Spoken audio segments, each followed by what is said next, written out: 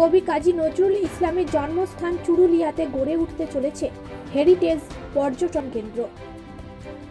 রাজ্যের মুখ্যমন্ত্রী মমতা বন্দ্যোপাধ্যায় পশ্চিম বর্ধমানের দুর্গাপুর সৃজনী হলে প্রশাসনিক বৈঠকে কবি কাজী নজরুল ইসলামের জন্মস্থান চুরুলিয়াকে হেরিটেজ পর্যটন কেন্দ্র গড়ে তোলার প্রতিশ্রুতি দেন। সেই প্রতিশ্রুতি পালনের উদ্যোগে শুক্রবার পশ্চিম বর্ধমানের জেলা শাসক এস অরুণ প্রসাদ, কাজী নজরুল বিশ্ববিদ্যালয়ের উপাচার্য সাধন চক্রবর্তী সহ একাডেমির অন্যান্য সদস্য ও বেশ কিছু গ্রামবাসীকে নিয়ে চুরুলিয়া গ্রাম ও নজরুলের বিভিন্ন জিনিস পরিদর্শনে যান। একই সাথে কীভাবে এই পর্যটনকে আরও ভালোভাবে গড়ে তোলা যায় তারই পরিকল্পনার বিষয়ে একটি সংক্ষিপ্ত আলোচনাও হয়। এদিন আলোচনার শেষে জেলা শাসক এস অরুণ প্রসাদ বলেন, মুখ্যমন্ত্রীর নির্দেশ অনুসারে কবি নজরুলের জন্মস্থানকে হেরিটেজ পর্যটন কেন্দ্র গড়ে তোলার লক্ষ্যে পরিকাঠামোগত উন্নয়নের কথা ভাবা হয়েছে। বিশেষত মেলা প্রাঙ্গণ মুক্ত মঞ্চ ও নজরুলের স্মৃতি জড়িত জলাশয়গুলির সংস্কারের মাধ্যমে সৌন্দর্যায়নের কথা ভাবা হয়েছে। এছাড়াও মিউজিয়াম ও যুব আবাসের সংস্কার সাধন ঘটানো হবে। অন্যদিকে কাজী নজরুল বিশ্ববিদ্যালয়ের উপাচার্য ডক্টর সাধন চক্রবর্তী জানান, হেরিটেজ পর্যটন গড়ে তোলার লক্ষ্যে জেলা প্রশাসন, রাজ্য পর্যটন দপ্তর ও বিশ্ববিদ্যালয় একযোগে কাজ করবে। নজরুলের সাম্প্রদায়িক সম্প্রীতির বার্তাকে সামনে রেখে চুরুলিয়া গ্রামটিকে আরও সুন্দরভাবে সাজানো হবে। আজকে আমরা জেলা প্রশাসন থেকে এবং কাজী নজরুল ইউনিভার্সিটির উপাচার্য সাহেব, আমরা সব এখানে ভিজিট করতে এসেছিলাম। কাজী নজরুলের যে জন্মস্থান আছে, সেখানে যে মাননীয় মুখ্যমন্ত্রীর যে প্রশাসনিক সভা হয়েছে, সেখানে ওনার নির্দেশ অনুযায়ী যেগুলো পরিকাঠামো সৃষ্টি করার দরকার আছে, সেগুলোর জন্য আমরা একটা পরিদর্শন করে পরিকাঠামোর যে রিকোয়ারমেন্টগুলো আছে, সেটা আমরা দেখতে এসেছি। কী কি দেখলেন, স্যার? আমরা এখানে দেখেছি কি একটা মুক্ত মঞ্চ মেলা গ্রাউন্ড আর পুকুর এগুলোর বিউটিফিকেশন লাগবে। সেটা আমরা ট্যুরিজম দপ্তরের সাথে ঠিক করব। স্যার এটা করলে কি মনে হচ্ছে যে এখানে একটা ট্যুরিজমের একটা ভালো জায়গা গড়ে উঠবে? নিশ্চয়ই।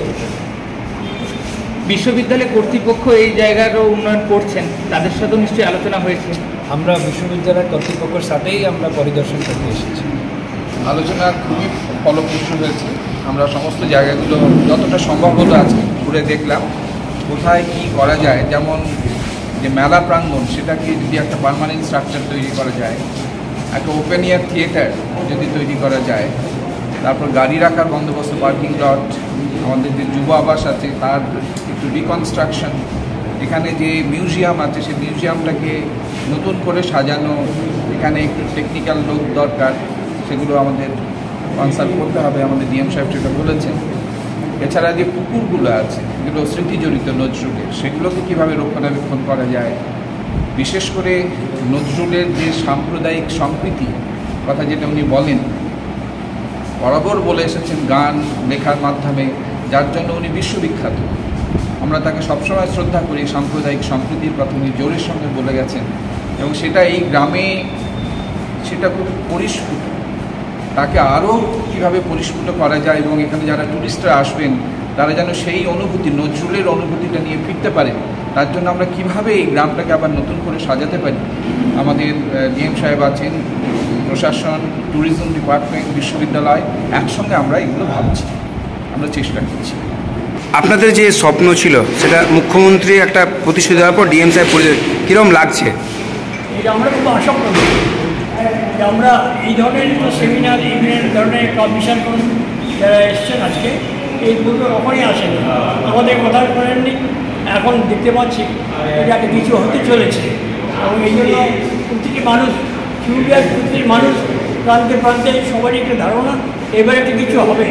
এবং যদি যে হেরিটেজ বলে ঘোষণা হয়ে যায়, এবং স্বয়ং মুখ্যমন্ত্রী যখন বলেছেন চুরুলিয়া সম্পর্কে আমরা আগ্রহী চুরুলিয়া আপনারা দেখুন এবং হেরিটেজ সব করে দিয়ে যাতে করে কাজী নজরুলকে সম্মান প্রদর্শন করা যায় তার ব্যবস্থা করুন আর সেই পরিকল্পনার জন্যই আজকে ডিএম সাহেব আমাদের বিসি সাহেব সব এসেছিলেন।